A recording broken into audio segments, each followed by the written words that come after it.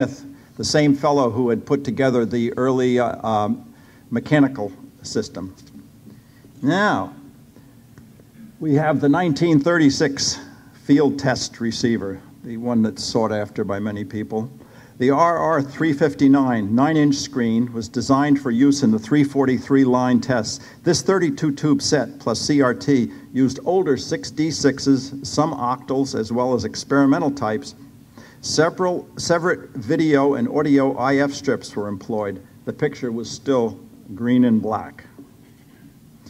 And a rear view of the 359. Note the IF amplifier tubes uh, mounted, uh, mounted vertically to reduce lead length between, between the stages. The set had an elaborate power supply with two low voltage and two high voltage rectifiers. It even had a pair of 2A3s for audio output, as well as bass and treble controls. Also featured were coarse and fine vertical hold controls. November 1936, broadcast station executives from around the country were invited to see a demonstration of the RCA TV system. Almost 300 attended a viewing of the RR359 sets on the 60th floor of the RCA building, and, and they ended up getting a free lunch. This is an RCA uh, promo. This on the back of this uh, photo. This set, of course, was never sold to the public. But this picture shows you, this is their RCA's words, this picture shows you how the National Broadcasting Company's experimental television is being received in the homes of a small group of engineers. The receiver set, which is in a state as experimental as television programs, is about the size of a console radio. On December 12, 1937, this mobile system arrived in New York City for NBC motor, one motor van provided two iconoscope cameras and all support equipment. The second van contained the 177 megahertz transmitter with an antenna, which they transmitted to the, uh, to the uh, Empire State Building for retransmittal. Then, in 1939, this famous picture of uh, RCA presents the 440 line television to the public at the New York World's Fair in 39. The equipment was still experimental. The FCC had not given its approval yet. This is a, the, the TRK publicity photo. This 1939 RCA publicity photo demonstrates the 12 inch, $600 combination TV and radio. It was first presented to the public at the opening of the World's Fair, tuned channels 1 through 5, 44 through 90 megahertz. Finally, the picture was in black and white. And this is the rear view of my particular TRK-12. And a very unusual thing here, anybody who's done TV repair in the, in the 50s, when you pull the chassis to take it to the shop for repair, you would write the person's name on the back. And if you look there in red letters, you see the name, barely read it, Sarnoff. So I have the suspicion that this, this set at one point was in the Sarnoff family. He wants it back. I was afraid of that. anyway, the tube complement 23 tubes, in, including the 12AP4. In addition, the audio amplifier was included as part of the separate multi-band receiver, which I guess most of you most of you know. And then, uh, of course, the nine the um, this is the uh, this is the nine, nine inch set or the five. I guess it's the this is the nine inch set, and that's the TRK5 and then of course the TT5. And I've seen uh, um, articles in magazines talking about the fact that the uh, you notice now that they got television, they they pushed the the radio off into the corner. The fact of the matter is, as you, most of you realize, this set did not have a sound system, and you had to connect it to the to the radio to to get, to get your sound. RCA developed everything. They developed the cameras, they developed the control room, they developed the transmitters, they developed the antennas, they had, they had everything. And this was, uh, this was the, your official RCA TV antenna. In March of 1940, scenes from an opera were telecast from the NBC studio notice the extensive lighting. According to RCA, during the, the year from its first initial World's Fair telecast, RCA broadcast 601 hours of programming. Test patterns were on the air for an additional 800 hours. It was estimated at that time there were 3,000 sets in use in the New York area in April of 1940. And you look, you look at, that, at that lighting system. I mean, it's, I, I, don't know how they, I don't know how they stood it. But uh, again, the same, the same camera style.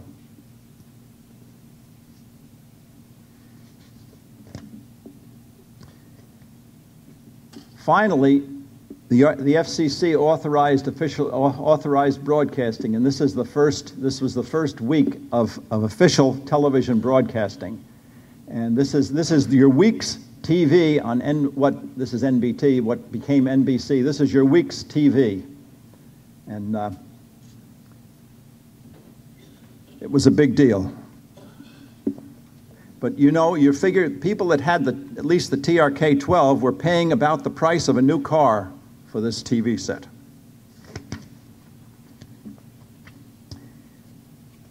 This NBT, uh, NBC first week schedule was provided to all TV owners in the New York area. Viewers were requested to give written opinion of the shows watched.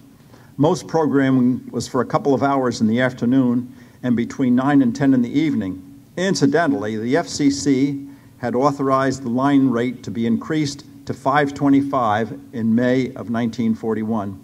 With the coming of World War II, although shows continued to be broadcast, television was sidelined until 1946. In fact, in May of 42, FCC limited NBC and CBS to a maximum of four hours of TV broadcasting a week This is a, this is a studio camera in, uh, ad in, 19, in a 1945 magazine. One of the many systems that RCA would be making available to TV stations, which would be coming on the air in the years after World War II. The 1936 iconoscope camera was still in use in December of, of 45. Then comes the Image Orthicon. There were three co-inventors of the Image Orthicon.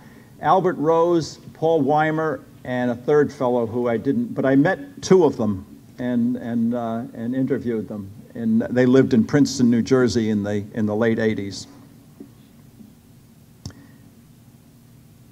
In June, June, of 89, I interviewed uh, Dr. Albert Rose. And it was this, this uh, iconoscope was first demonstrated to the public in October of 45 at the Army Navy football game later that year. The image orthicon. This pickup tube is about 100 times more sensitive than the iconoscope. The image multiplier section at the right provided a gain of 5, and the signal multiplier on the left increased that by a factor of 20. According to my 1952 Allied radio catalog, this exotic tube cost nearly as much as a new car. And I understand they did send them back to RCA to be rebuilt when they would, uh, when they would uh, fail. And this is the famous TK-10A uh, studio camera. This camera became available in the late 40s.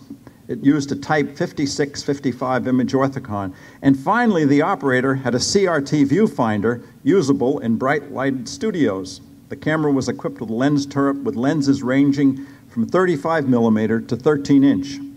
Optical focusing was accomplished by a knob on the side of the camera which moved the pickup tube assembly with respect to the lens. And the operator had a headset which produced program sound in one earphone and studio direction in the other. The 630 TS. Service data, 1946. T1 explained the 630 TS is a 30 tube direct viewing 10 inch table model television receiver. The receiver is complete in one unit and is operated by the use of seven front panel controls. Features of the receiver include full 13 uh, channel coverage, FM sound system, improved picture brilliance, AFC horizontal holds, and on and on and on. The set cost a typical month's pay, and yet millions of them were sold. I mean, people must have mortgaged their houses to buy these things. Uh, many manufacturers paid royalties to RCA to put their name on similarly designed sets or even buying the chassis and put them, putting them in their own cabinets. Around 1947, we were living not far from New York City. I remember watching Texaco Star Theater along with half the neighborhood on one of these sets. It never occurred to us that the picture was too small. Now, RCA wasn't sitting still, and this experimental color camera with special semi-transparent mirrors were employed to separate the image into red, green, and blue components. Picked up, each picked up by, uh, by an image orthicon. This is this the three primary colors are recombined in the tricolor picture tube. On October 10th, 1949, RCA demonstrated to the FCC their all electronic compatible color system. And that same day, TV show Kukla, Fran, and Ollie became the first regular television program to be seen simultaneously in color and black and white. The first shadow mask color tube was demonstrated in the lab just before the end of 1949. And here's the guy that did it. RCA, having invested millions of dollars and years of effort, was finally able to make money on TV by 1949. They owned most of the patents, had the cameras, studio equipment, transmitters, receivers, all sought after by new stations and viewers alike. David Sarnoff's multi million dollar gamble, gamble finally paid off. And these are uh, some of my uh, references. And uh, my, my whole point, though, in, in this program is to point out that putting television, putting a television system together was nothing like putting a radio system together. The first radio broadcast uh, a commercial was uh, Frank Conrad in, in 1920, and he took his ham, tra ham transmitter and put a, uh, a phonograph record uh, in, in front of the microphone, and people could put together for a, a, few cents or a few dollars a radio and listen to it. And, our, and uh, Westinghouse said, hey, great, we're going to turn this into a business. And all it took was building a bigger transmitter, putting up a bigger antenna, and start selling radios. Television, entirely different story. It, had, it was a system, and it had to be built and designed and created as a, as a complete system, and one or two inventors just weren't able to do that. But RCA, with the, with the foresight of, of uh, Sarnoff, did that. And, uh, and uh, I, I believe he's, to me, he's one of my heroes. The guy was not uh, an electronic genius, but he knew how to gather money and spend it wisely, and now we have a TV system. Thank you. Thank you. Oh, thanks a lot. That, that, that, that was excellent. The next generation has to go to MIT to learn this stuff. But let me tell you, just as a quick PS, 1946, Pop brought home a 630. The whole neighborhood would come down to watch Milton Berle every Tuesday night. And then one day reading Electronics magazine, they had a circuit on how to convert it to the CBS mechanical color system that was still transmitting from the Empire State Building. And I did that. And my father came home to watch the Friday night fights, and oh boy, did I take a licking. But uh, that, and then the last story, when I started getting interesting into, into the CT 100s, this was about the 80s. And I moved to Connecticut, and a whole bunch of retired GE executives were there that I met. They helped GE break up RCA so I went to them and I said, scour the archives, go to Schenectady, whatever it takes. I want everything in the warehouse that says RCA, schematics, tubes. I don't care what it is. They came back a couple of weeks later and said, Don, GE emptied every warehouse and trashed everything. There's no archive left of RCA in the GE company. So that was a big disappointment. Uh, you're not going to be disappointed with the, the rest of the presentations. Uh, oh, wow. What we're going to do now, hey, Lee, did you carry in the uh, Royal Sovereign for us? Well, come on up. You're going to tell us about working on the biggest monster available commercially. The CRT you can turn into a swimming pool if you turn it upside down.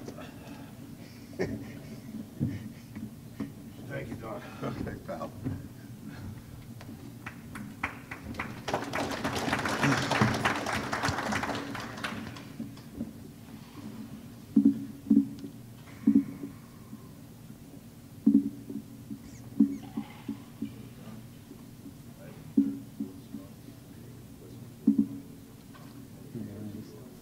You- you- You're doing this one first, the 119 or what? You Just right there, yeah. Good, thank you. Everybody hear, hear me okay? All right. Um, this is what happens when you like um, get blasted off a, uh, a step ladder 15 feet off the ground with a pressure washer. That's why I'm a little slow today. I did my Wile E. Coyote imitation. You know? All righty. Before I begin, um, there's a lot of people I'd like to thank. Six or seven years ago, when I first embarked on this crazy journey of uh, television restoration, I barely knew uh, an electrolytic from a tubular, you know, but because of all some very fine people on the antique radio forums and uh, Video Karma, um, I learned, um, you know, a lot of these people made available to me, you know, through their, their time and effort, all their years of expertise, and there's just some of these people. There's a few I like to recognize. Anyways, um, either they go by their names if I know them, or by their um, by their handles on antique radio forums. So here we go. Uh, Dennis, uh, Mr. Detrola has been uh, helpful for years. Uh, Tom Albrecht, Tom Schultz, Eric H. I think he, he's the one that does all the Admiral TVs. Uh, my good friend Henry Canoyer. Uh, of course, uh, Steve Pelock. Uh, Phil Nelson, my God, uh, he was one of the first sources I I acclimated myself to, to, you know, to learn all the basics. Thank you, Phil. Chuck Azzalina, of course, has been helpful down through the years. Steve McVoy has been a great help. Um, plus all these other guys, French Markey, Noisebox, Wisco Jim, Radio Rich, Zenith Fan, and last but certainly not least, uh, the weekend hacker, uh, Kirk Murray, uh, sharpshooter extraordinaire in terms of troubleshooting the set, including the Royal Sovereign. So without, you know, for, to all those gentlemen, thank you very much. I'm nothing without you.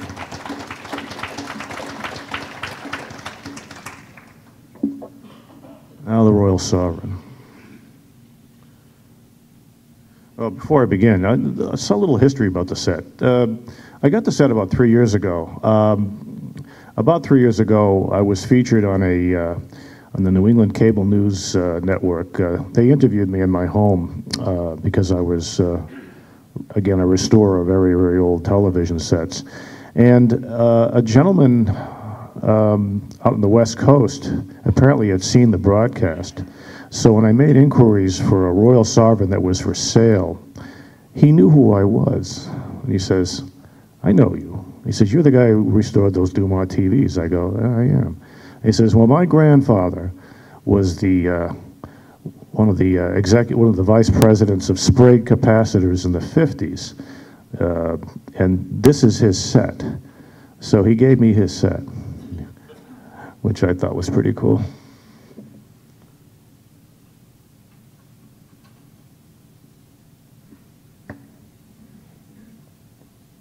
Uh, it's just a couple of oil caps. Uh, they sort of like. Uh, let me just go to a couple of more pictures here.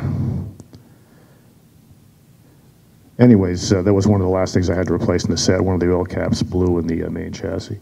Uh, here we go. I was always scared to death of this television set. But I figured, okay, I'll tackle the high voltage chassis first. It's in great shape. It was in great shape. It was just covered by a little, you know, surface layer of dust. There was very little corrosion to speak of. Uh, all the tubes pretty much tested fine. Uh, this is me typically when I go through a set. I always take a gazillion photographs because, you know, I, I want to know where I've been and I want to know where I'm going.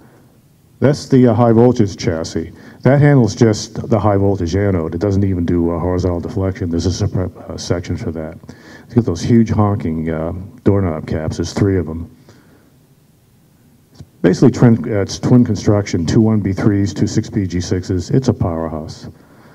Uh, I basically just sort of went through and documented all this stuff. underneath the cans. Uh, that's the uh, oil fill cap. Again, uh, moving right along. I'm going to uh, quicken this up a little bit.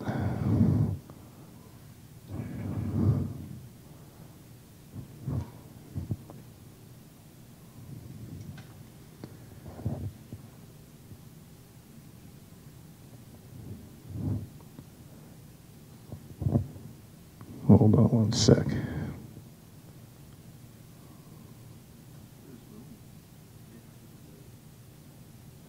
All right. So what I did basically was, uh, after I documented everything, I uh, I restuffed all the cabs underneath the uh, the chassis, um, used everything uh, uh, much higher uh, wattage and voltage rated than from the factory. Um, I got the high voltage chassis all cleaned up, and let's see. Yeah, I, uh, I did a good bit about a cleaning. All that wiring on those jackets, I wanted to know if they were in good shape. All the rubber and everything was all, all nice and uh, flexible and pliable. The, the, chassis was in great shape. It was just one that the anode had to, uh, had to fix the uh, grommet there and uh, jacket it in cases of shorting. There all the tubes all cleared up, all cleaned up. I tested all the tubes. They were, they were pretty much all spot on. Now I'm going through the main chassis and I'm recapping a little at a time. Now, it's a pretty daunting set. So what I was doing is I was, I would do a few caps and then, you know, I would uh, plug the chassis into the main chassis, into the high voltage chassis and run it. And, uh, you know, just to make sure everything was on the up and up. I changed that, Chuck, don't worry. Uh, the tuner uh, didn't take much. It was uh, it was freely rotating. It just needed a good cleaning, a good lubing, and uh, cleaning of the coils. One of the uh, relays was gone. Fortunately, I had the relay in stock, so I just swapped it out. That's uh, in the high voltage chassis, and that basically switches it on and off. If all is well with the main chassis, sort of a safety factor. That's M6 and M7. That handles the uh, horizontal and vertical deflection sections. So if any of those things are not working, the set will not work. It shuts itself off. It protects it, and that's because it doesn't want to like spit out a white line phosphor and burn a 30 uh, BP4. So there's a lot of protection circuits on this TV. The cabinet was in beautiful shape. Fortunately, it, it didn't need any restoration whatsoever. It's strictly electronics. There it is up and running, 20 kilovolts.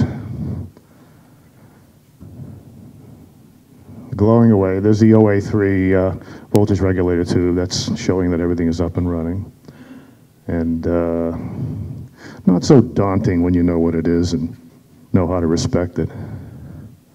There's the high voltage regulator control. You can control, you can jack it up all the way up to 25K. 20K is what I used for this, which is a 27 RP4, brand new.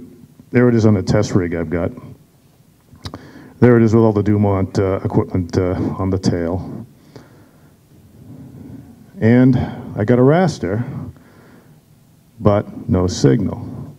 And it turns out um, I thought there was something amiss in one of the IF sections, but it turns out I had just crossed a couple of caps, one cap in one of the IF stages, and it was killing the video signal. And uh, this is just uh, some more close-ups of the uh, test rig I used for the uh, CRT. There it is. Finally got a raster. Off kilter and all that stuff, but uh, I eventually straightened it out. Then I, uh, it wasn't as crisp and clear as I did, so I went through all the IF stages and I found that some of the resistors were way out, you know, so being careful to keep the same dress lead and everything, I replaced them, and bingo, it bounced back nice. I tell you, after all that time, it was nice to see that. So what do you do? You watch a movie. I love film noirs. They're the best. Yeah, I had the thing on the bench for running for about a good five or six hours, and after that, I figured, well, okay, nothing's blown up yet, so it's time to really start putting it into the TV, into the cabinet. There's our buddy Sterling Hayden.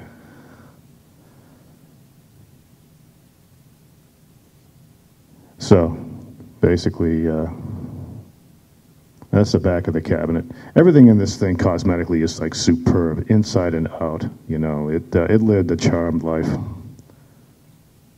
Going back in there. Okay, so how do you put a 27 RP4 into a cabinet, which is meant for a 30 BP4, but in a non-destructive fashion? Well, well, these are basically just close-ups of all the factory marks inside the set. Hold on a sec. Close-ups of all the uh, factory literature and uh, schematics. Yeah, these are all those lucite, uh, you know, those four block mounts that I used to do the 30 BP4. I decided to use that as part of the mounting system for the adapters for the 27RP. My goal was to create a mounting system that was completely non-destructive. I did not have to drill one hole whatsoever uh, in the cabinet or, or anything else in the DuMont. At first I was thinking of, okay, this is what I used. I used, it basically, it came down, was a piece of uh, artboard, painted black. Um, this is some, some abortive attempts of, abortive attempts of some sort of a mounting system I was coming up with the uh, CRT. There's the mask. You can barely see it, but it's in the uh, old DuMont mask. Hold on. There's the bottom um, jig I came up with, and you can see it fits right in with the lucite stuff. Uh, all these webs out there basically cradles the bottom of the uh, 27 RP4, bolts in place. There's the uh, mask uh, from the for the 27 in front of it. And we sort of try to keep all the geometries and stuff like that, you know, in a very DuMont-like fashion. Turns out, me making the, uh, the mask and the mounting system for the 27 took me far longer than restoring the whole set itself. This is where most of the work actually went into the restoration.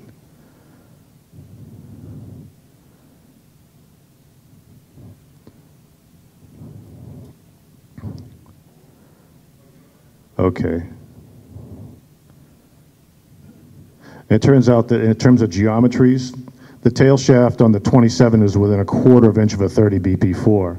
So I didn't have any problems in terms of deflection or, you know, uh, uh, uh, what's the word I'm looking for? Uh, compatibility issues with the, uh, the system used in the 30. It worked fine. I just had to replace one wire wound in the, in the horizontal width control. That was it. There's the top part of the uh, clamping system.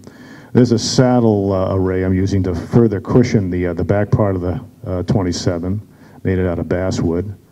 There it is with a closed cell foam uh, strip, painted up, and you see the uh, coupling collars back, top and bottom, painted black. That's on the guest bed upstairs. And again, I try to think, what would the factory do?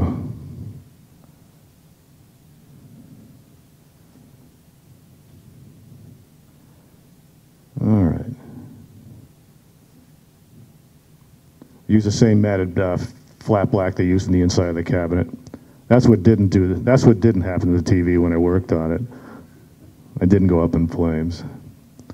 Uh, jigging the uh, the front mask, you know, with the Compley system, uh, I wanted it absolutely perfect. So when you put the TV, you know, together, you, you saw no uh, edge lines or anything like that. There's the mounting system. Inside and out. It took me a month to finally get everything all jigged into place. There I am scouring the 27 RP4 with Comet. It's good, it works, you know, it's a good etching compound. It really polishes glass very well. On the, yeah, that's about spot on.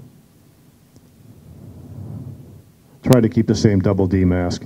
I uh, redagged the rear part of the, uh, the, the CRT and put the labels back in place, making everything nice and neat.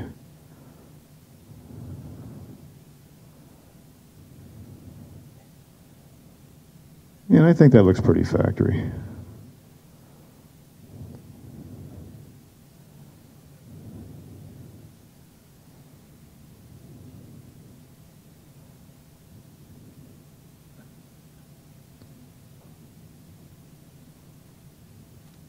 Uh, so the final assembly time.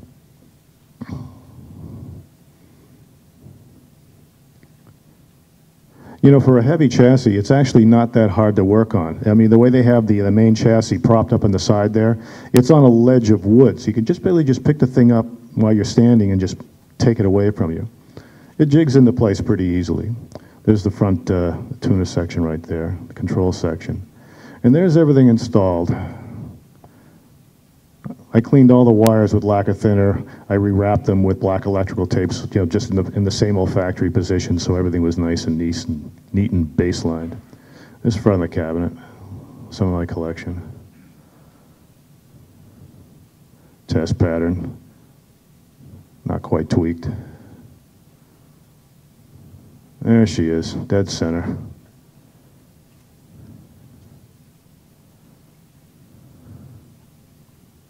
I love that test pattern, by the way, John. It's the best. Now, when I put it in the set, I had like a, a little of a, you know, vertical jitter problem, and I thought for sure I had, oh my God, something's wrong with the uh, vertical, uh, you know, sweep or something like that. But it turns out all it took was just a little upward nudge on the uh, vertical hold control, and everything froze really nice. There I am looking for problems that don't exist. And close up the tune-up dial. Kiss of Death, 1947. I love film noirs. I use them to uh, tweak the set because they're very difficult. There's a lot of darks, you know, and uh, when you're setting everything up, here I am setting up the automatic uh, gain control. It wanted 180 volts, and I set it right spot for it.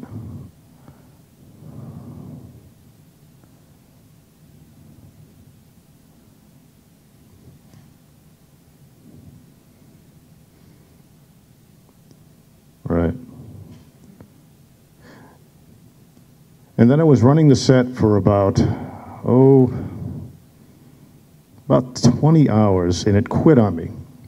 It just shut down. Uh, the high voltage section closed off, M5 opened up, and basically just took the whole TV set offline. And the reason why it did that is because it turns out that the uh, oil-filled cap in the main chassis, a 1.5 uh, microfarad 850 volt AC cap, which is tied to the power transformer, uh, went open and basically killed all the power to the main chassis. And um, they say that oil-filled caps don't fail. Oh yeah, they can fail. The trouble is, is finding a replacement. And you know, well, Cornell Dubilier does not make you know 850 volt 1.75 microfill oil fill caps anymore. So you've got to go to like a lot of the uh, the motor AC caps or uh, power supply caps and uh, double up on them. I found a couple of uh, surplus sales of uh, Nebraska, of course, a few old GE 3.5 microfarad uh, 440 volt AC caps. I put them in series, measured at 175 volts, at 880 volts AAC and uh, got it back going again. And uh, I'm glad. I thought for sure I wiped the set out, you know, at the, you know, the main power transformer. I thought I wiped the power transformer out. But Chuck Azzalina says those things are absolutely indestructible. They were built by Solar Corporation for DuMont, and they used them on all their really great, you know, early good, uh, great early sets. They stopped using them later, I think, after the RA109, which I guess is a cost-saving measure. And she's back.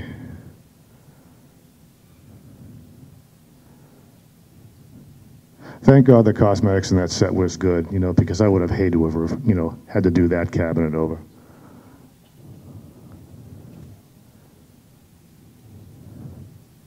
There's the, uh, the cap that failed. I ended up uh, putting the caps outboard on the little cap holders uh, inside the cabinet so they get a good, uh, good amount of air. I didn't want them to fail again.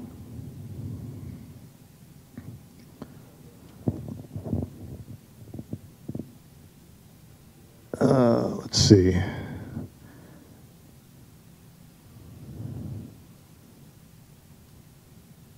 Yeah, and I replaced the oil filled in the uh, high voltage chassis too. I figured it better safe than sorry, so I uh, replaced that one as well with outboard oil filled caps. So now every cap in this set has been replaced except a couple of micas, and I think we can rest easy. That's a close up of the uh, resistor chain connecting the two 1B3s.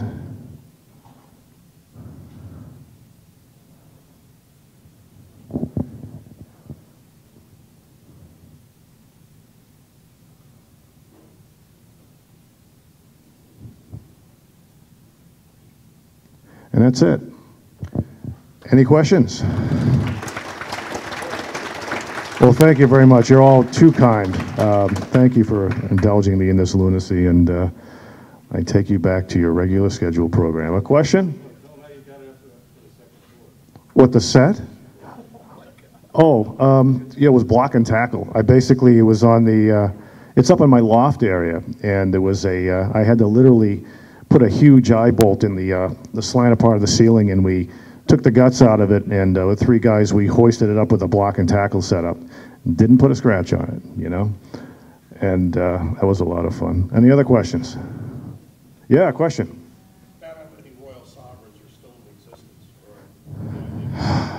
Somebody told me there's like three or four that are running in the whole country. Sort of a dark art, you know, getting them going again. Not many people who uh, saw them running originally in the 50s or around. That's why there were a lot of friends here, and you know, that helped me get it going. Question? Uh, what you got, a 119A or B or? Well, the, I think the A is a single, is a double chassis one, the B is uh, singles. Three chassis. Yeah, okay, it sounds like an A. Another question? Yes, sir. Did I use a, a split uh, IF design that depicts the sound in different IF changes? Yep. Yeah, it is. I didn't have to align it, thank God, because there's so many IF stages in this thing, you know. But I just watched my lead dress. Uh, whenever I replaced a resistor, I made sure it was as spot on to spec as I could. I kind of mil spec'd all those sections, and again, watched the lead dress. Didn't need an alignment. It's it's sharp as a tack. Question? Yes, sir. Chuck. Well, 27 RP versus uh, 30 BP. Uh, the mask basically takes up. Uh, it, it shrunk the, uh, from the original mask back about two inches all the way around. And I kept, a, I made a double D shape on the new mask, so I tried to preserve that look. Yeah, I think I was successful. Question? Where's the original CRT? The CR, original CRT is busted. Uh, sort of a tragedy in shipping. Uh, but it turns out the original one had gone to air anyways, and you can't rebuild 30 BP4s anymore anyways, even in France, because it won't fit in their ovens. So in retrospect, it really wasn't much of a loss. Any other questions? Yes, sir. What year did it come out? How many do we think were made? and How much did it sell? Oh, I bet you there's other guys in this room who could tell you that. I think it, it 51, well, what mine has a production mark on the box the cabinet. Says 51151. So I think that's when the cabinet was made. Uh, so I got to figure they're around there. I, I guess I think they were a 1950 design. I seem to recall prototypes of a 30 in other parts of the, uh, I don't know, DuMont was showing them as early as 1950. Steve probably knows. Yeah, I think that's when they were produced in 51, but I think there were 30 inch prototypes earlier than that. Uh, questions? How many and how much? Uh, what, Steve, what they go for? They 1795 bucks? Dollars, something like that. And they were carried in the DuMont catalog through what, 52, 53, and I think they probably blasted the last ones out the door at a reduced cost because, uh, you know, they, they weren't very cost effective at that point. Say again? Yeah, single chassis. Right, right. Now, here's a question. Uh, I hear that there was like, how are we doing for time, Don? Am I? You're over. I'm over? Oh, Okay. Do I want to go? Shall I go? Last question. All right, one last question. Yeah, go ahead, or explanation. Go ahead. Uh, you were saying, oh yeah, I know, I know. Uh, I heard there was a retro kit for 27-inch all-glass tubes for this thing, and I sort of try to duplicate that here. Maybe somebody else could tell me that, but I heard that DuMont actually made a, a mask and replacement CRT kit for that set. I've never seen one though. One last question. I was wondering, I see continuous tuning here. Yep. Um, Is that something that DuMont favored, or I'm not really as experienced? Yeah, that's sort of a DuMont trademark was uh, continuous tuning. That was their way of uh, squeezing FM between uh, six, channel six and seven, sort of like a a, a, a free. Invisible bands. Yeah. Anything else? Well, again, uh, thank you you, all. Lee. Much obliged. Don? Good show. Good show. Well, the Sovereigns are going into the same warehouse as the CT100s. We've got somebody working on flat panel replacements. color and black and white. And maybe we'll have color for the Sovereign size. Mike, are you here? Sure. Mike's got two presentations. He's going to talk to you about the uh, Western 41 mechanical receiver and then the Zenith field sequential. And uh, that's a trip in itself, taking you back a little bit in time. So uh, you're learning a heck of a lot today, gang.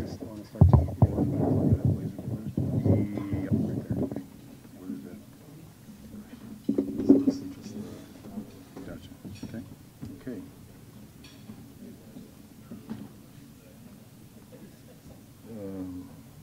And then after Mike finishes, we're going to have a break, and during the break, you're going to open your wallets and let the moths fly out and come up with a check for the uh, Early Television Foundation. We're going to send Steve to Hawaii this year, if you don't mind. Senator Bob. I've already made the reservation, so. Yeah. Aloha. So this is the, uh, the Western 41. I don't know how many of you got to take, a- take a look at it in the mechanical room, but, um, let's see if I get this right.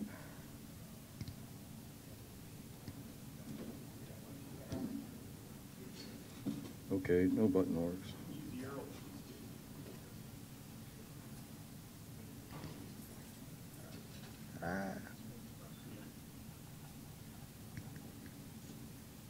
Top one doesn't do anything. Use these or just use the arrow keys too. I don't know what, what I did to this. No, to the right, Oh, okay. then that'll Hey. take you back. Well, what we're, we're going to look into is whether this is actually the ultimate mechanical television that was sold for use in the home. Sure. The, um, no, they're not changing here. That's it, I'm out of here.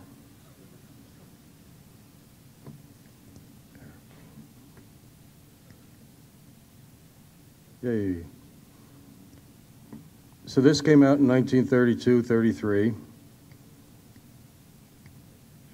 Why does it keep doing that to me? Backwards. And. Boy, I'm getting all messed up here.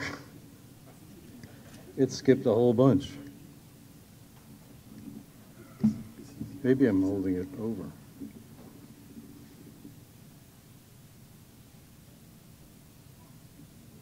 Just use the right up arrow. Yay!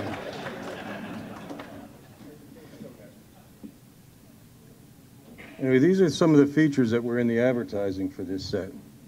The uh, large screen for family viewing, brighter image than you'd see on other mechanical sets, higher resolution than the 24, 36 line peephole sets, uh, less flicker, holds a steadier image, built-in receiver, which you didn't have to have a separate uh, box for, and all in a compact tabletop case. The large screen, um, if you saw it back there, is definitely bigger than the peephole version. And the brighter image comes from this crater tube. We'll, we'll uh, go into that a little more, but that's the secret as opposed to having the other neon tubes with a flat uh, plate that lights up. this is the 45 line scanning disc, which we'll look at some more later too. And that's the um, triple interlacing, which is their claim for less flicker. And also, we'll get more into this with the, uh, the new motor design that uh, helped frame the image. And built into the bottom, all on a, a chassis similar to what you'd see in a cathedral radio, they had the entire receiver built on. And then again, all jammed into this tabletop cabinet if you got a chance to take a look at it over there. If you didn't believe it, they were on display at the 1933 Chicago Century of Progress exhibit. And if you went to the exhibit, they gave you one of these little cards to put in a plaque, and you were actually televised on a screen and then displayed on the TV at the exhibit. so, how did they do it? Uh, the next uh, slide, I've got all the different components that are in the set uh, knobs in the crater tube, and then the chassis and the uh, cabinet taken apart. For adjusting it and things, it, the top slides off. To, to get the uh, bigger image, it's actually projected onto the screen. You're not looking through to the neon tube. And from the back, you can see it's a, a ground glass screen. And, um, and then through the lens assembly, it, it, uh, there it is. So the, the little tiny point on the, um, is where it'll actually light up, project through the lens, and then onto the uh, ground glass screen. These are some close-ups of the uh, crater tube. And again, it, all the light comes from a very small area. It's a three-lead tube. The, uh, the lead for the neon lighting is on the right-hand side. And this is actually a heater element in the center we haven't got any good theoretical explanations of what that does. And then the uh, common lead for the two, uh, the heater and the signal, are on the far left. But you can see there's a little like a ceramic wrap around that, and it's starting to break off on this tube already. And again, that's where the actual bright light would come. And this one, I, I magnified it about as much as I could. That's the actual when they say it's a crater tube, that's the crater that you're actually looking at that lights up. It's mounted in the set on this uh, adjustable arm so that you can tilt it back, put the tube in, and then you can adjust it either high or low to uh, focus onto the screen. And then this is again in the line of sight, so the um, the neon light will be there, project through the lens, and then off onto the screen. This is a shot of the, uh, the disc in it. And different than any Daven disc or anything that's just a bunch of perforated holes, these are actually a, uh, a lens in each hole. So they had to somehow make a sturdy enough disc that as it's spinning, everything stays in line to project onto the uh, screen. And I did this really as magnified as I could, but each lens is in the hole and then punched to, to actually hold it into position. And their claim for um, reducing flicker is shown by this uh, triple interlacing. So the 45 lines are divided up into three sets of 15. So every revolution, uh, I've got on the next one here, it'll do line one and line four, and then the next set would do line two, five, etc. The next set, line three and six, etc. Uh, kind of unique thing on this motor is the uh, brush windings. So you can rotate the motor to get your framing, and the contacts for power for the motor keep uh, contact along those uh, the rotor there. Uh, in this picture. It shows how the, uh, the, the knob in the front is actually turning the whole mounting for the motor. That's the frame holding the motor in place. and then the shaft of the motor is what goes through to the disc. So the disc is turning independently of what you're doing with the front knob. Just you, you're turning the starting point for the synchronous motor. This is the uh, a view of the chassis, and in their ads, they made claims uh, about how good the receiver is, saying that it's both a super heterodyne receiver and a three-stage TRF, along with a re- resistance-coupled amplifier. So I, that raised more questions than it answered, and as advertising, I guess, can do. And I was also curious as to why the Echophone name kept appearing on things. So when I started looking into the chassis, the uh, tuning condenser is a four-section bathtub kind of design, and that kind of sets it up as being a, a, three-stage TRF. So you'd have one section for tuning the antenna to the first RF, another section to the second RF, to the third, and then to the detector. So I don't see where it's a, a superhet at all but it, it was certainly a buzzword for advertising at the time. The um, tube complement, the number 80 rectifier, 58, 77, and 58 in the RFs, uh, 27 detector, and then uh, this is the uh, resistance coupled amplifier to, uh, to a number 45 output to the crater tube. Get that listed here again. Yeah. So basically, power and then the signal would be doing a loop like that through to the crater tube. Now, I saw on the side of it something that started to answer a lot of my questions about superhet and about uh, some of the other things about the design. Um, RCA licensing and Hazeltine licensing. When, when the, in this vintage, RCA charged a, a high premium to have a license it was like a hundred thousand dollar a year minimum, and then seven and a half percent on sales over that. And if you look at the number of sets that would have been produced in this, there's there isn't much way that it could have worked out. Uh, I'll go back and forth to the next slide. The uh, the Western tag is actually for serial 469. So if you assume over 32 and 33, if they made 500 units, and split up between a couple of years of that and the Hazeltine license, they could have had $300,000 in royalties to pay. So what companies were doing at the time was sharing the license. Uh, go back to that. Um, the serial number 8838 is probably the serial number for Echophone.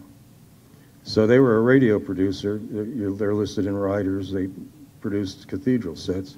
So more than likely, the whole assembly or construction of chassis was farmed out to them. And uh, they also had a Hazeltine license. And if I go up ahead, uh, Hazeltine at the time did a lot of development work on shielding tubes and on making the smaller uh, uh coil cans. That was actually a big breakthrough compared to 1920s sets that had huge coils and unshielded tubes. And when you switch from the, uh, the O1s and, and tubes that were used in the 1920s scanning disc sets, that might have had a gain of around 8 or 10, the, uh, the Pentos that were in here could have had a gain of 10 times that much. So they were basically making use of, uh, of the engineering at, uh, at Hazeltine, the license for both superhets and other licenses from RCA, and the construction actually being done by Echophone. the um, Hazeltine company was also big. If you did get their license, it came with engineering support that was one of the biggest values in having their license. This is a, a picture of the uh, resistance coupled amplifier. So this, except for it being the uh, AC tube version, is similar to what would be on those little Daven amplifiers that uh, you see with mechanical sets. And again, this was all put into a a very compact uh, AC operated chassis, which uh, would then, you know, be able to sit on a tabletop next to a, a cathedral radio that could be receiving the sound. so that was kind of state of the art of technology for 32, but from that company, at least, we don't see any future development. But when I was looking for ads in the same vintage magazines, The reason there was probably no future development was they were already saying cathode ray tubes are on the way, so research for, uh, for an improved version probably just wasn't worthwhile to anybody. And that would have been the end for, for the people at Western. So before I go on to uh, the thing about the um, field sequential set, uh, Jerome said he was going to be watching this, and I think instead of watching, you should get over and talk to those people at RACS and get them on the job. That's a little commercial announcement. Uh, to need you to get me to the next one again.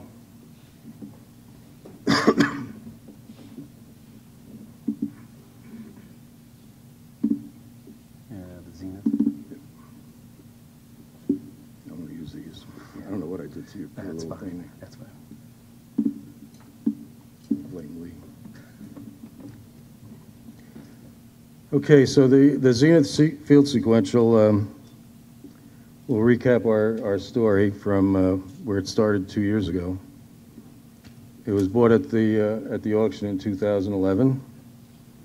And anyone who was there and poked around with it saw that it was in pretty rough condition. The, uh, chassis was sitting on phone books, the yoke coil was flying around. Um, the uh, CRT was damaged. Couple of pictures of the CRT. And, um, and the knobs and everything were missing from the front. Um, when the chassis did come out, uh, there were some obvious parts missing and a lot of detective work needed to be done.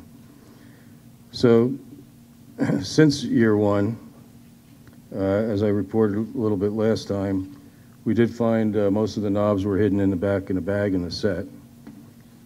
And I was able to do a little um, digging through all the different, I, ha- I happen to have the sets of photofacts from that period, and went, pulled out all the Zenith ones and found something very close. So it looks like the, uh, most of the set is an adaptation of, of this monochrome model, which is in uh, set 144 of, of uh, Sam's. And uh, also in last year, we, I disassembled the whole set. Uh, there was an awful lot of baffling for sound and uh, really heavy, heavy construction inside. Checked out the magnifying lens. And I was able to find a substitute CRT, a 10SP4, which um, when I get to, uh, to trying to get a, uh, an image on it, it's going to need a different uh, focus voltage setup. And the, um, I did create a circuit diagram of the little extra video amplifier that's on the CRT neck. Uh, last year too, the color wheel assembly was removed and it was all tested out and shown to be uh, working okay. So, since our last episode, I started to look at what I had there and decided what would be the best way to display it um, and how much restoration is going to be needed if, if there wouldn't be a way to make it work. Uh, should I just do a physical display where it never really operate, a display only where there was just something cheesy with a backlight for uh, the spinning wheel, uh, restored and working but without vintage components, or a total restoration which gets into the capacitor stuffing and, and all the agonies that go along with that. Well, I, I started to look at three different questions as to how to proceed. One would be was how, how historically significant is the television? Uh, number two, are all the vital and unique components actually rebuildable or, or already working? And then could I have a signal to run it? Well, Daryl helped me with number three because his, his converter will run that set. So that left me with having, having to pursue number one and two. um, when I started to look for possible reasons or, or ways this would have been built, I started to think of whether it was just some, like an unofficial project in, inside of Zenith, since nobody's found another one or any documentation on it. Or was it something that maybe the engineering department was aware of and said, well, let's take one of the old um, monitors and fool around with it, see what we can make happen? Uh, was it a challenge to the engineering guys in the department where the boss said, take your spare time and, and see what you can do with this? Was it uh, where maybe uh, to test a specific idea, that the marketing people come down and say, you know, we want to be in on this if it takes off? Um, Or was it even further down, like a, a prototype for production or something in like the, uh, we saw in the, in the RCA sets, a, a prototype for actual home testing? So I started to look for clues. Some of the things that bothered me were that it's an adapted chassis, that it's not a chassis that was made to do both, that they took a monochrome one and took every empty piece of space and started to fill it with things. It was just haphazard. Any, any open spot got some component thrown into it. Um, I'll give you an example of the next one, the crude construction. Everything was just last minute kind of soldered on. There were differences in wire. Uh, this is only one example of probably 25 spots in it that are just uh, tacked on soldering. And, um, and then a lot of parts were cut and just bridged. There'd be a resistor removed and a new one just tacked on. So the rough parts layout, the fact that no others are known, uh, the fact that there's uh, no promotional material, I haven't seen anything in advertising. And, uh, and actually, one thing that concerned me too was did it ever work? It may, it's possible that it never even worked in Zenith and somehow it ended up getting out of Zenith. So I, I did start to look at some positive clues. Uh, there were some ID tags on the chassis uh, with a serial number that it's a special run. I mean, that, that was a, to a degree positive because it still could have been a minor in-house thing where someone was just saying, you know, take this and see what you can do with it. Another positive that I found was that there were so many design factors that were, that were put into it that would have been a lot of work if you only wanted to test the concept. You wouldn't have had to make it so quiet with all the sound baffling. Um, you wouldn't have had to have the magnifier to actually see the screen size. You wouldn't have to make it color and black and white if all you wanted to do was see if black and white, if color would work. And that it was easy with just the throw of a switch to uh, change whether you're in black and white or color. And even in a cabinet that, that fit the, uh, the high-end product line. But then after looking through a lot of 1951 and, and earlier documentation that I have, I actually found something about it in a 1953 report. Um, this is a uh, annual like report to stockholders from Zenith. Um, this this uh, 15 GP uh, set is what I one of the sets I got from uh, Dave Johnson's collection, and they were nice enough to include this book in there, which I didn't look at right away because of the 1953 date. Well, it says right in the um, in the story about the 15 GP22 set that Zenith was the first company to manufacture and sell uh, commercial receivers for the now obsolete CBS system in 1941, and then they talk about the monitors that they built. But they say when in, in the FCC approved the CBS system in 1950, they made a number of sets to demonstrate to the distributors. And then they go on about how uh, they didn't put them for public sale, but uh, subsequent events have proven how right they were not to do it. So then they're saying, they're claiming that a number of them were made, and I certainly felt a lot better that at least one was made. And um, they go on, now, I had to take a, with a, a little bit of a grain of salt that this is for stockholders, so if you read some of it, you'd think that in 1939 they invented television and color television too, because it says they were doing experimental broadcasts in 1939.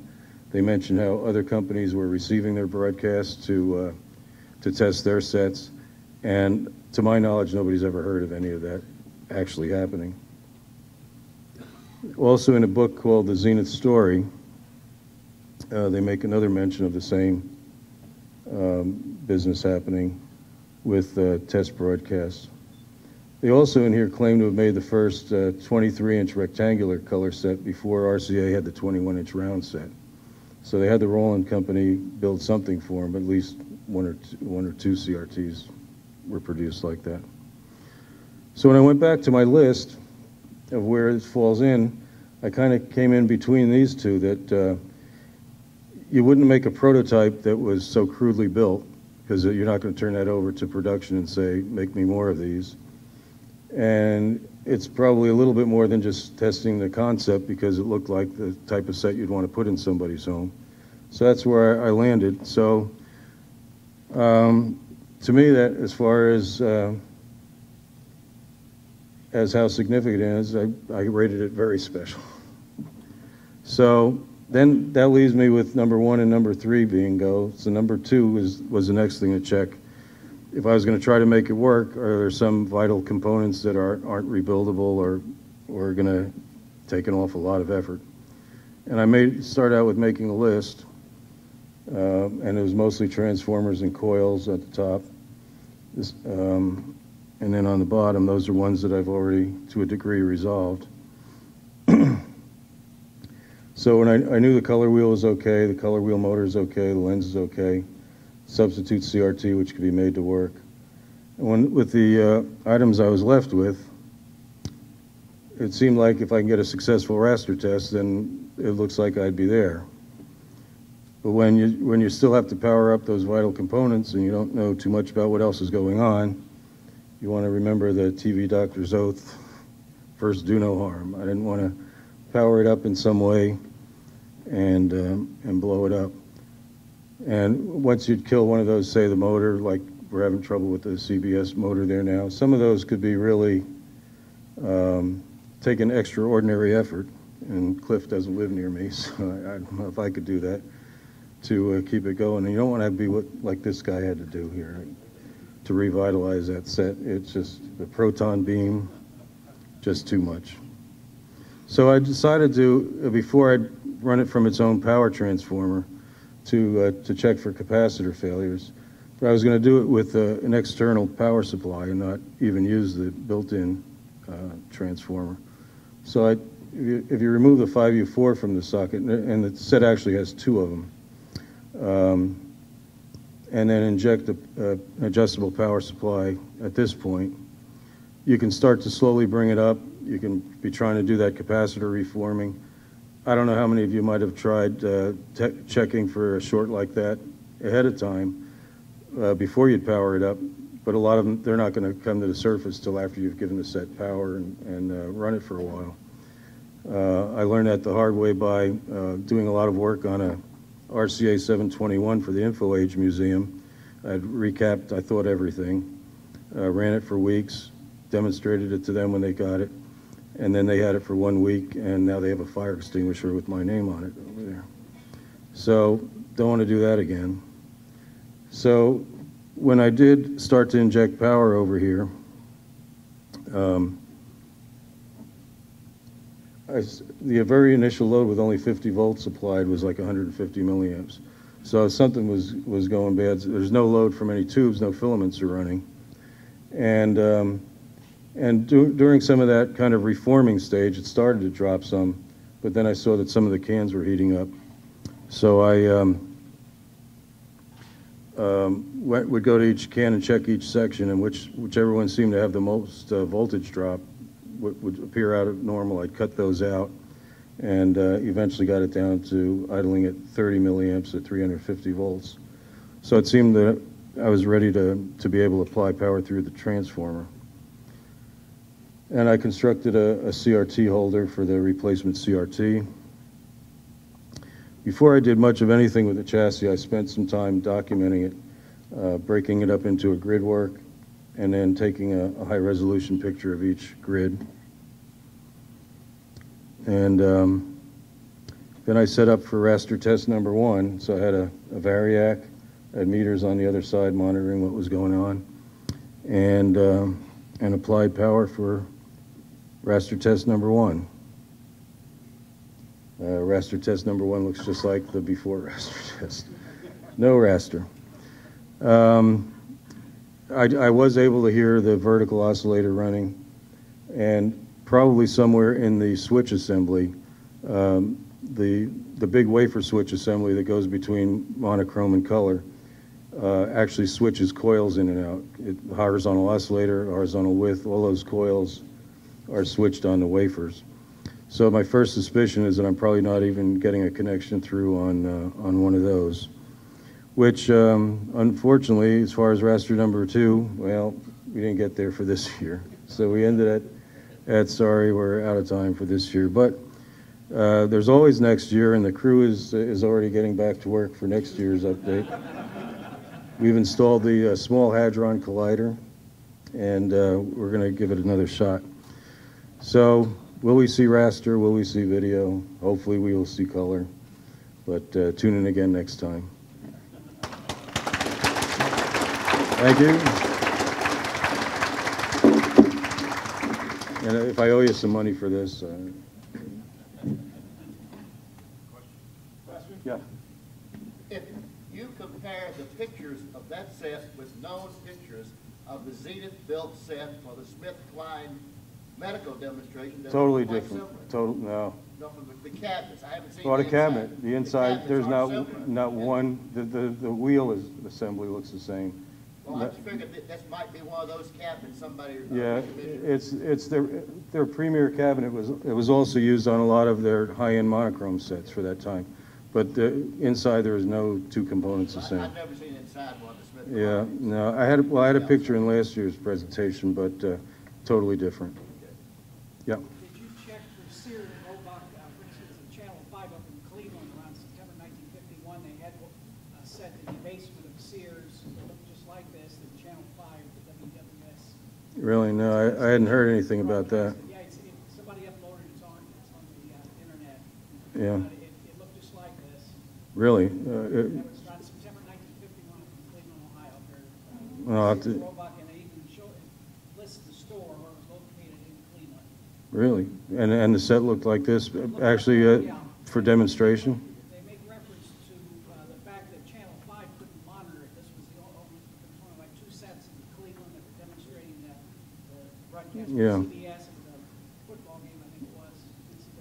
Certainly, I- I'd like to find anything that shows there could have been more than one, because they could have taken this around to a couple of places to show. Set was shipped in. Shipped in? says that This set was shipped in from Chicago. Yeah. Demonstration in Cleveland. Well, that got it closer to here, to the auction. Yes? Uh, Going back to your mechanical receiver Mhm. presentation, the first half of this, I'm curious if there's ever, was it, if any evidence has surfaced of mechanical TV transmitting equipment that supported that triple interlacing system? Oh, yeah, the, the, each company in that time period would have to send their own signal out, otherwise there'd be no way to sell sets. So they would maintain a schedule. Some of those schedules were pretty uh, elaborate, some broadcasting every day. Um, not necessarily anything you'd want to watch, but they broadcast something every day. I noticed the, uh, the slide of that first TV schedule, it said save for posterity. Oh, that, that was in uh, Richards. Yeah. But where were these sets sold? Where would you buy one at that time? Uh, it, it looked like the, the Western was a Chicago area. I mean, like, you walk into a Radio store. radio, Yeah. And they might only keep one or have to order it for you or whatever, but, you know, because it, it wasn't going to be of, of much entertainment value, because the things that they were broadcasting, some of them were just a, a still figure. And uh, some of the universities did that.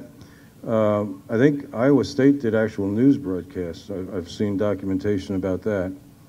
Um, but otherwise, you weren't going to find, the best they could get even on a news thing would be a talking head, just this, you know, a rough silhouette of a man telling you the news for the day. Yeah. The? Uh, they've come up every place. So um, I, I guess it was nationally sold, but uh, the numbers just weren't big. How far out was the broadcast Mm, the the, um, it, the the listings I've seen of different stations, they had wide power ranges. Some only had 500 watt transmitters, some had 2,000 watt, um, and some that would be up on the receiver would have to be up more in the what then was called shortwave, like in the two megahertz range. So the low end of shortwave, just past the broadcast band now. And uh, was there any evidence that it was repeated? Western sold sets to Mexico, uh, Canada, um, California, they were all, and they sold cameras too. So they were pretty much all over, all over the country, all over this hemisphere. Yeah, But, but, uh, you know, just like they have arguments about formats of uh, VHS tapes and things, the set you bought, you better be where that manufacturer broadcasts because you weren't going to get anything otherwise. Yeah, Chuck? Were they all triple interlace, all Western sets that triple Uh, I think only when they went to the crater tube, right? No, they're, no, Oh, their older ones are too? Um, No, no, only the crater tube worked with the lens. Yep. What's that? Are you going to demo the mechanical? Oh, no, that's, that's not uh, working yet. In fact, uh, unfortunately, I have to leave uh, late this afternoon, so I'll be packing it up today. Yep. How do they, in, in the, the color set, how do they, what do they do with the color wheel when they, switches to monochrome? Okay, I, I, I did part of that last year, but um, I should have put it in again this year. It was a split wheel, so there were two sets of three filters, and then and each set would have clear on the other side. So when it would start to build up momentum, the two it was weighted so the two would separate, and the, then you'd have all color. When it would spin down, it, it would relax and it would go to the monochrome, one, uh, the clear one being up on top. Pretty slick design. So that way you didn't have to actually slide it out of the way. Yeah. On the western, where did it come from? What's the history of it? How do you get it? How did I get it? Um, it was in the same collection for 20 plus years. Uh, if you ever saw the book Taylor Vision, uh, Doc Taylor, he, uh, wrote that book and it was his property for the longest time. Um, and he did still remember that the guy he bought it from had two of them. So it was there. I was willing to sell him one, but it was in one place for over 20 years. And uh, Doc knew that I would uh, keep it safe when he was liquidating some things. He's, so he was in Indiana, um, and that's where it was before I got it. Yeah. I think there's one of those in the Museum of Science and Industry. The, uh, I don't remember how many are in the uh, listing, uh, th- but there are a few of that model, yeah. They, they probably made more of those than the Empire State, which only has the one here and the one in the Smithsonian. But there are a few of them around. Mike, you taught me. Yes. You taught me, thanks. And I broke Thanks. this. Uh, Ladies and gentlemen, friends, before we get into the break and you can all take a nap again, uh, we have to do a little business. Tomorrow morning, Steve and Bob Dobush are going to be breaking your arms to work on the CRT rebuilding. We have, and you'll learn later, we may have to not only rebuild black and white, but color. Having said that, there are approximately, according to Pete Deksnis, 125 so CT100s with 25 working tubes, which means there are 100 CT100s that'll never shine again. So I decided to make a, uh, an offering to the museum to have a profit center. If somebody will get a small flat panel that'll fit inside the set, get rid of the bad CRT, and operate the video off a good working chassis, Steve could take orders for it and make a profit for those that want a CT100 to light up again. I think that 90% of the people looking at it in the living room won't know it's a flat panel. And I think people that have the sets, and I can't say all 100 would do it, it's, it's something that they've got a big investment emotionally and physically and monetarily in, and they want to see it shine again. So I would make that offering to one of you technical geniuses. If I said this two or three years ago, John Folsom and Galanta would beat me down because they were heavily invested in 15G rebuilding. You'll learn more about the state of 15G this afternoon. So that's my profit center for Steve. Now I want another profit center. I want all of you to get up, walk around, get a cup of coffee, and write a check and give it to Chuck Azar so that we can come back next year and get good food and comradeship and all sorts of things that happen. And uh, hey, Chuck, where are you? Chuck, you can start off with my $250 to ETF, and uh, I think it's a worthwhile thing to support. So, guys, have a good 15, 20 minutes. And Steve, you got anything else you want to tell him? No? Okay. Come back in 15, 20 minutes, and we'll go to part two. Thank you.